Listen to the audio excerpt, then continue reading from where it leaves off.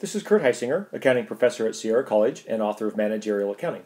This video describes the uh, profitability measures and other measures as well that are related to two fictitious vendors. This is an example from my textbook. So um, these are names that were made up, but the idea here is to give you an idea of how we can use ratios to select um, between two potential vendors. So the setup here is that we are a fast food restaurant we serve fast food to our customers, and we're looking at trying to figure out which of these two companies we should go to uh, to purchase our beverages from them. So think of this as perhaps selecting between Coca Cola and Pepsi in, in, a real life scenario. But we've got these two that are fictitious companies, and uh, we're looking at uh, many different ratios. And, and by the way, I describe in detail how to calculate uh, these ratios, and specifically for Coca-Cola, in uh, a series of separate videos.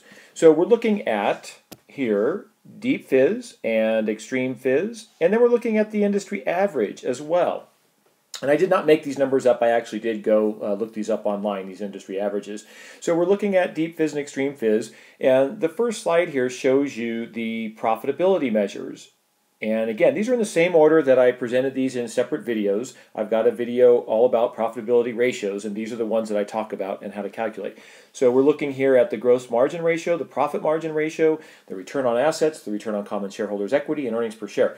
The idea is we want to see how healthy these two different vendors are and, and select the one not just that's the most financially healthy, but also has the best product. But we, let's assume that we've already looked at the product side of things, and now we want to know is there any compelling reason to go with one or the other based on their financial ratios. And so here we're looking at profitability measures, and it looks like if you look at the, these in detail, it looks uh, like Deep Fizz has the highest gross margin ratio, and it's higher both than Extreme Fizz and the industry average. It looks like Extreme Fizz, though, has the highest, just by a little bit, the highest uh, profit margin ratio, and both companies are higher than the industry average of 19.2%. Uh, return on assets, it looks like Extreme Fizz also uh, has the highest percentage there. And return on common shareholders' equity, uh, with that ratio, Deep Fizz has the highest ratio, although they're very close in these measures. And earnings per share, uh, looks like Extreme Fizz has the highest amount there, but uh, I should caution that it's not fair to compare earnings per share uh, between companies because it depends on the number of shares outstanding. So, for example, if a company does a stock split two for one, suddenly the earnings per share get cut in half but uh, it doesn't mean the company's performing any worse. So we really shouldn't compare those two measures. Those are independent measures for each company. So overall, this shows us that both companies, Deep Fizz and Extreme Fizz, are doing just fine in terms of their profitability measures. Uh, on all accounts, it looks like they are higher than the industry average. So we're not concerned about the profitability of either of these potential vendors. This slide shows us the short-term liquidity measures for each company, each potential vendor that we're looking at. And if we uh, look at this closely, you'll see that uh, uh, in terms of the current ratio, has a lower ratio, and that Extreme Fizz has the highest in terms of the current ratio. And again, I have a separate video all about short-term, how to calculate short-term liquidity measures, and I use Coca-Cola as an example in those in, in that video. Uh, so it looks like uh, Extreme Fizz has the highest current ratio in terms of their ability to pay off their current debt. They have $1.25 in current assets for every dollar that they have in current liabilities, and they're slightly higher than the, than the industry average. Uh, for the quick ratio, it looks like Extreme Fizz also has the highest ratio there. They, they're lower than the industry average, but between the two companies, looks like they have the higher ratio. In terms of receivables turnover, it looks like Extreme Fizz has the highest ratio there and that translates to uh, collecting their receivables fairly quickly, and you want a low number of days there. So they're doing doing well uh, in that regard. And let's see for inventory turnover, it looks like Extreme Fizz also turns their inventory over the most quickly and and in the, the minimum number of days between the two companies. So it looks like um, in terms of short-term liquidity measures, Extreme Fizz is doing better than Deep Fizz. And now we'll take a look at the long-term solvency measures. So the previous in the previous slide we were looking at short-term liquidity, the ability to pay off current debt, but now we're looking at long-term solvency and uh, what kind of long-term debt they have.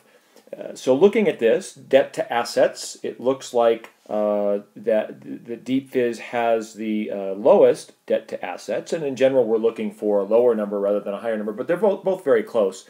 Uh, and in looking at, so what that tells us is for every dollar in assets, that Deep Fizz has 34 cents in total debt. Uh, when we look at debt to equity, looks like Deep Fizz also has the lowest ratio there of 0.67 to 1. So for every dollar in equity, Deep Fizz has 67 cents uh, in debt. And then in times interest earned, here we're trying to look at the ability that the company has to pay off its interest expense that's associated with its long term debt. And Extreme Fizz, uh, their times interest earned is the highest, 38.93 uh, times, so they can pay off their interest expense 30, almost 39 times over.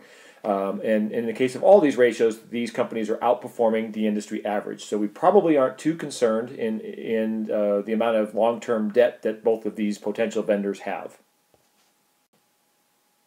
Finally, we'll take a look at uh, market valuation measures. And again, I have a separate video on how to calculate these measures in detail. It looks like uh, Deep Fizz has the highest market capitalization, often call, called market cap, but they're pretty close to Extreme Fizz and above the industry average. And their price earnings ratio, Extreme Fizz's price earnings ratio, uh, looks like that is the highest, which means that investors would expect their earnings, uh, future earnings, perhaps to be a bit higher, although not much, than uh, Deep Fizz, and certainly their price earnings ratio is, is much higher than the industry average. So essentially what we're doing in the textbook example is trying to figure out which vendor to use based on this information. And it looks like really that both companies are pretty healthy. If you go back and look through the slides for this video, uh, both companies are, are healthy uh, given their uh, ratios relative to the industry average. So in, in that scenario, we'd probably then go look at their products and the services that they offer their customers and look at factors that perhaps are outside of the financial measures to see to see what would influence our decision the most.